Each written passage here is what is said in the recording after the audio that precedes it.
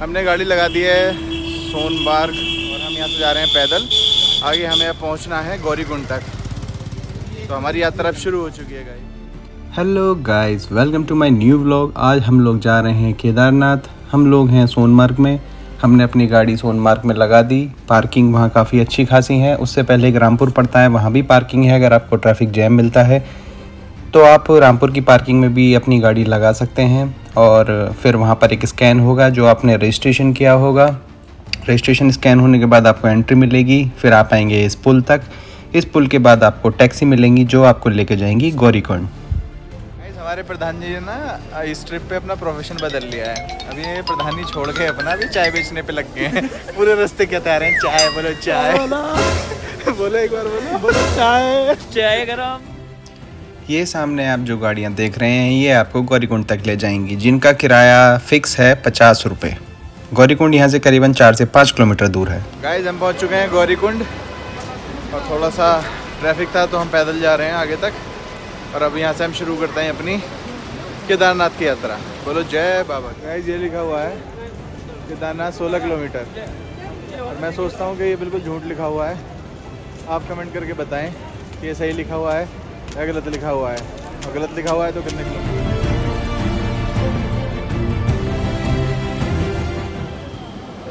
यहाँ पर घोड़े मिलते हैं। बहुत से लोग यहाँ से घोड़े और खच्चरों से सवारी करते हैं। नीचे काउंटर भी है जहाँ इनकी पर्ची कटती है। गाइस हमने ये डंडा ले लिया है अपने सपोर्ट के लिए। हमारे सपोर्ट के लिए बाकी भाई लोग हैं ही। और चल रहे हैं धीरे धीरे केदारनाथ बाबा के दर्शन करने के लिए। साइड में हमारे मंदाकिनी नदी बह रही है और भीड़ इतनी नहीं है, लेकिन हाँ थोड़ी बहुत है। लेकिन जब भी आप चलें, इन खच्चरों से बच के चलें। हेलो गाइस हम लोग करीबन एक डेढ़ किलोमीटर ऊपर आ चुके हैं और आप हमारे पीछे देख सकते हैं कि घोड़े और खच्चरों की लाइन लगी हुई है और पब्लिक इतनी ज़्यादा नहीं है, फिर भी काफ़ी है। लेकिन बहुत से लोग जो खुद चल भी सकते हैं, यात्रा कर सकते हैं, वो भी घोड़ों का उपयोग कर रहे हैं। पिछले साल कई हज़ार घोड़े मारे गए थे। इसमें इन घोड़ों का क्या कसूर था, बेचारों को? इतना ज़्यादा इनसे काम कराया जाता है। और इस तरह से बच्चे आते हैं। ठीक है देखिएगा कितनी खतरनाक जगह पे हम हैं। बिल्कुल ये देखिएगा। ये घोड़े बिल्कुल चढ़ के चलते हैं। घोड़ों को देखने के बाद मुझे थोड़ा तरस आ रहा है। क्योंकि शिव जी जो हैं, उन्हें पशुपति नाथ भी कहा जाता है। पशुपति नाथ का मतलब है, जिन देवताओं को पशु प्रिय हों, यही नहीं, हर पशु भोले बाबा को प्रिय है। और लोग आते तीर्थ पे हैं, यात्रा करने, लेकिन एक पाप कमा के चले जाते हैं। उन लोगों की वजह से इन बेचारे घोड़े गधों की जान चली जाती है।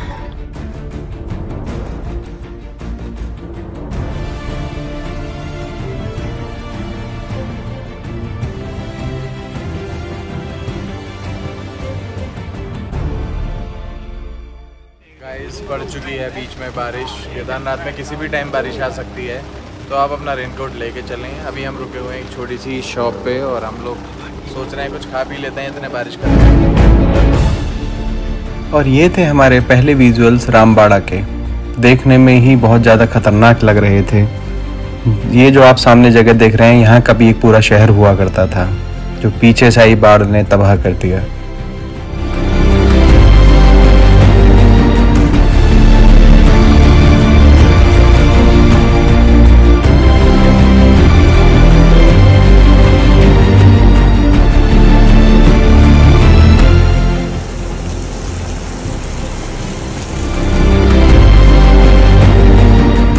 Guys we are in rambada right now. I will show you right now condition of rambada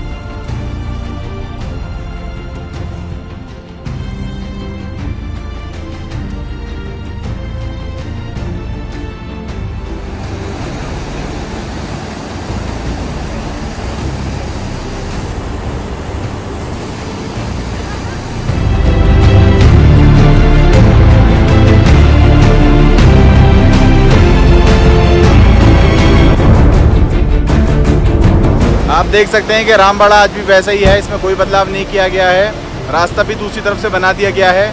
16 जून की वो रात जो यहाँ के लोग और जो लोग यहाँ मौजूद थे, कभी नहीं भूल सकते। बहुत ही विशाल पानी का सैलाब आया और यहाँ 10 मिनट के अंदर सब कुछ तबाह कर गया। यहाँ 20 से ज़्यादा होटल 100 से ज़्यादा दुकानें मौजूद थी। कई हज़ार लोग यहाँ पर मौजूद थे, जिनका आज तक पता भी नहीं चला। तो गाइज़ यही है वो जगह जहाँ पर बहुत सारे होटल मौजूद हुआ करते थे। 16 जून की रात विशाल पानी का जो सैलाब आया, जो नदियों ने उफान लिया, उससे पूरा रामबाड़ा बह गया। जो लोग होटलों में मौजूद थे, वो कुछ पहाड़ों के ऊपर की तरफ़ भागे, वो लोग तो बच गए और बाकी लोग सभी उसी आपदा में बह गए और इस आपदा का शिकार रामबाड़ा से पुराना रास्ता यहाँ से आता था, यहाँ से ऊपर जाता था, फिर यहाँ से आता था। यहाँ ये पूरी लैंडस्लाइड हुई काफ़ी बड़ी आप देख सकते हैं। और ये रास्ता पूरा ख़त्म हो गया। आगे वही रास्ता फिर यहाँ से कंटिन्यू करता है।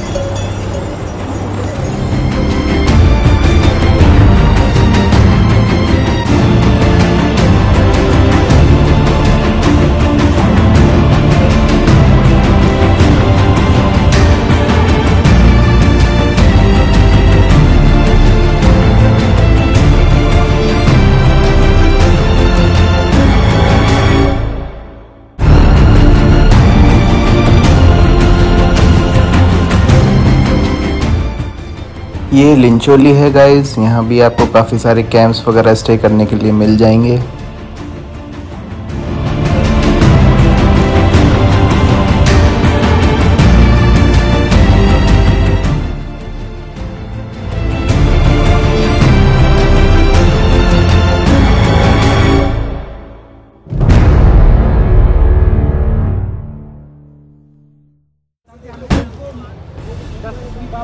गाइस एक शॉर्टकट है, उससे मैं जा रहा हूँ, जिससे आप देख रहे हैं पीछे पूरा ये वाला रास्ता जो है, ये बच जाएगा।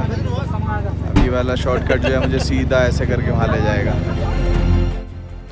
गाइस हम लोग जा रहे हैं इस शॉर्टकट से, जो कि यहाँ से सीधा होता हुआ जाता है, आप देख सकते हैं। वरना हमें जाना पड़ता पूरा घूम के यहाँ से, फिर इस पे पहाड़ पे ऊपर, फिर इस पूरे रास्ते को होते हुए, आगे जाके ये उसी रास्ते को ज्वाइन करता। गाइस हम जा रहे हैं कुछ शॉर्टकट से। और ये पुराने कच्चे रास्ते बने हुए हैं शॉर्टकट्स के। इन्हीं का सहारा है।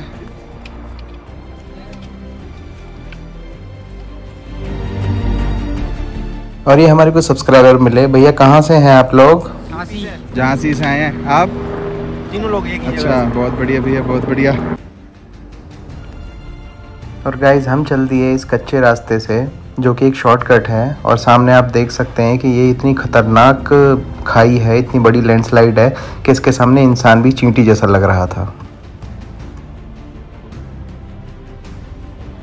गाइज़ मैं आ चुका हूँ ट्रैकिंग वाले रूट पे। बस पास में ही ज़्यादा दूर नहीं है, लेकिन आप पीछे वो लैंडस्लाइड देख सकते हैं। जो लैंडस्लाइड होने के बाद में जिसने रामबाड़ा में तबाही मचाई थी ये दोनों माउंटेन्स की जो लैंडस्लाइड है, यही पानी के साथ मिलके इसी ने पहले रामबाड़ा को तबाह किया।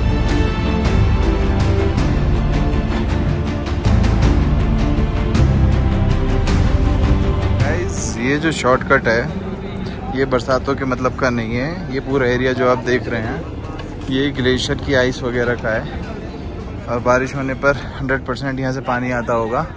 ये देखिएगा। तो बरसातों में इसको अवॉइड करें।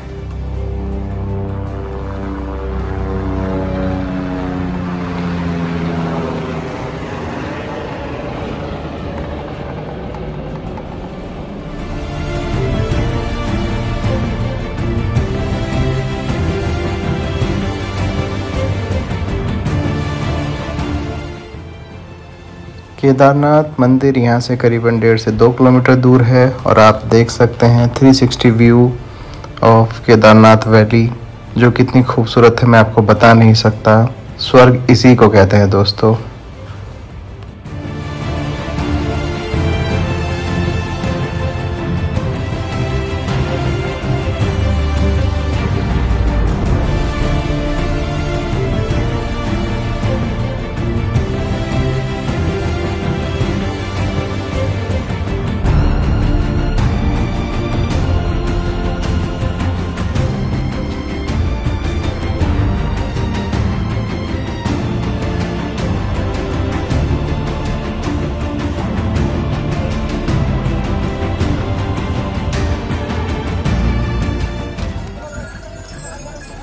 गाइस वेलकम टू घोड़ा पड़ाव यहीं सारे घोड़े रुक जाते हैं। ये है केदारनाथ का घोड़ा। गाइस सारे घोड़े वगैरह यहीं तक आते हैं। इसके आगे डेढ़ किलोमीटर आपको पैदल यात्रा करनी पड़ेगी। आगे का सफ़र आपको दिखाते हैं। घोड़ा पड़ाव के पास में ही ये पूरा टेंट सिटी बना हुआ है जहाँ पर आपको टेंट्स मिल सकते हैं रहने के लिए जिनका चार्ज तीन सौ रुपये से लेकर हज़ार रुपये हो सकता है। इस खूबसूरत नज़ारे के साथ हमें दर्शन होते हैं दूर से ही केदारनाथ मंदिर के। जय हो केदार बाबा की। आज के ब्लॉग में गाइज़ इतना ही। मिलते हैं कल आपसे और आपको दिखाते हैं Kedarnath Dham. Thank you guys love you keep supporting keep loving solo traveller A